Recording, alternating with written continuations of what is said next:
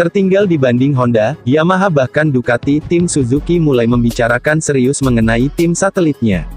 Hal ini bisa dilihat terutama Yamaha yang mengalami kemajuan signifikan dengan adanya duet tim satelit Petronas Yamaha SRT, yaitu Fabio Quartararo dan Franco Morbidelli.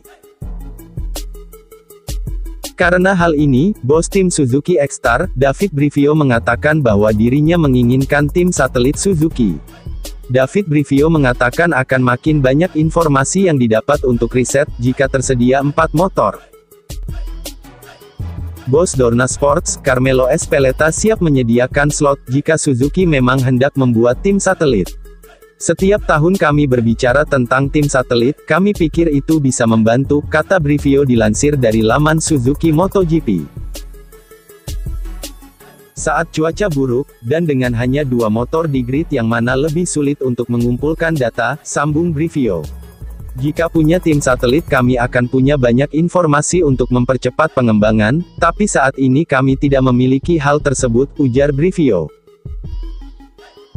Pada sisi lain, Brivio juga menyebut bahwa ada nilai lebih dari memiliki dua pembalap saja dalam sebuah tim. Sisi positifnya adalah, bahwa tim dapat berkonsentrasi sepenuhnya hanya pada dua pembalap tanpa gangguan imbu Brivio. Bagian negatifnya adalah, kita memiliki lebih sedikit informasi, dan lebih sedikit kemungkinan untuk perbaikan, pungkas Brivio. Terima kasih telah menonton video kami.